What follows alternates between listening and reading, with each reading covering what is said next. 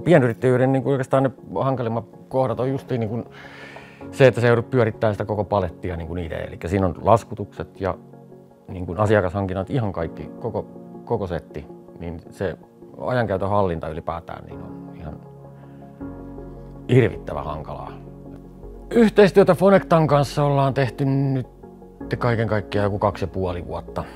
Avain oikeastaan Fonectan kanssa yhteistyöhön on ollut semmoinen niin kuin yhtenäinen luottamus ja se, että mitä siellä niin kuin aikoinaan luvattiin ja sanottiin, niin kaikki on pitänyt paikkansa.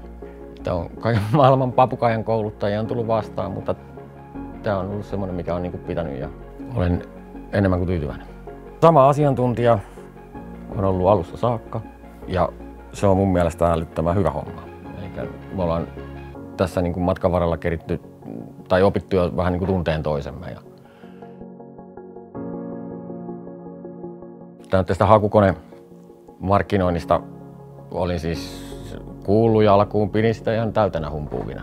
Luojan kiitos näin asiantuntija sitten osasi niin kuin asiaa avata ja kertoa sillä että sen niin kuin ymmärsi, että niin kuin tämä on muuten ihan oikeasti tosi tärkeä juttu. Että jos, jos haluaa, että yritys tulee ylipäätään näkyville tai halutaan niitä potentiaalisia asiakkaita, niin se on se ainoa keino.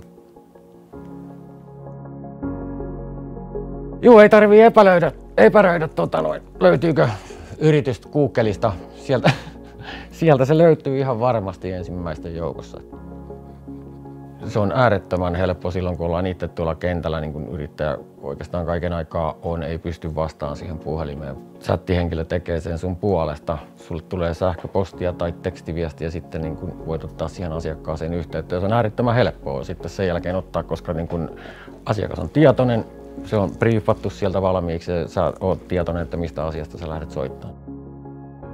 Oikeastaan ennen niin Fonectaan, Fonectaan niin ei ollut ei ollut niin kuin kotisivuja.